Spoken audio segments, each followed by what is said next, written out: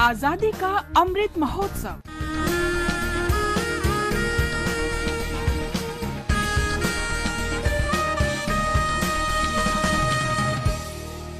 आज हम याद कर रहे हैं क्रांतिकारी स्वतंत्रता सेनानी भूपेंद्र कुमार दत्ता को, जिनकी आज पुण्यतिथि है।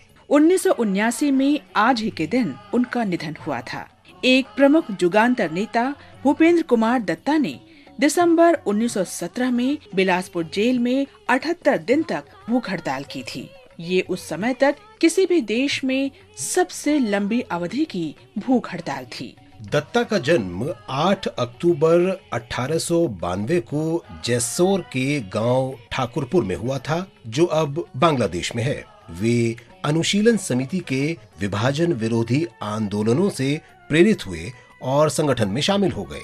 सितंबर 1915 में बाघा जतिन की मृत्यु के बाद भारत में बड़े पैमाने पर दमन हुआ और स्वतंत्रता सेनानियों को जेलों में बंद कर दिया गया। भूपेंद्र कुमार दत्ता को 17 मई 1917 को गिरफ़्तार कर लिया गया।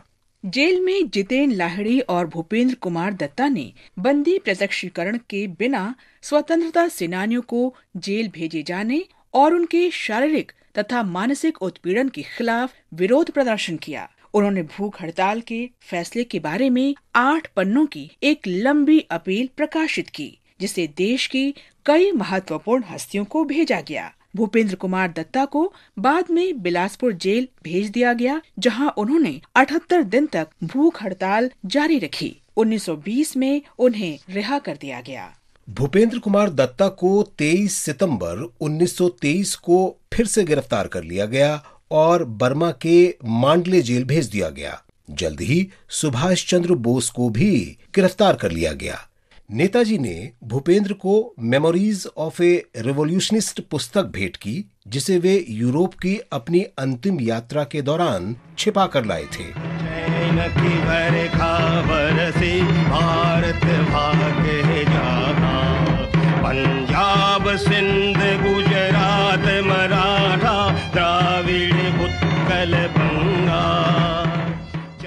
1928 में अपनी रिहाई के बाद भूपेंद्र ने विभिन्न जुगांतर नेताओं के साथ संपर्क बनाए रखने, पत्रिकाओं का संपादन करने, हथियार इकट्ठा करने और उन्हें वितरित करने का काम फिर से शुरू किया।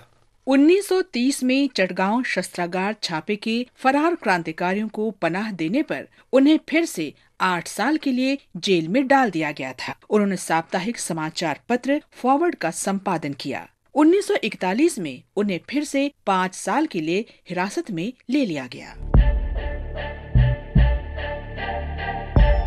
भूपेंद्र विभाजन के बाद सांप्रदायिक दंगों के पीड़ितों को बचाने के लिए पूर्वी पाकिस्तान में सक्रिय रहे, वे संसद सदस्य भी चुने गए। उन्होंने 1948 में पाकिस्तान की संविधान सभा में बांग्ला को पाकिस्तान की आधिकारिक भाषा बनाने के प्रस्ताव का समर्थन किया।